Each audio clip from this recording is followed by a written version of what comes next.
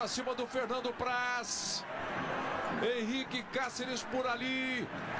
Estão pedindo segurança em campo. Zé Roberto no gramado também. Muita gente dentro do campo vão para cima do Felipe Melo. Eles vão para cima do Felipe Melo. Vão para cima do Felipe. Felipe Melo sai de campo. Zé Rocoberto tentando proteger.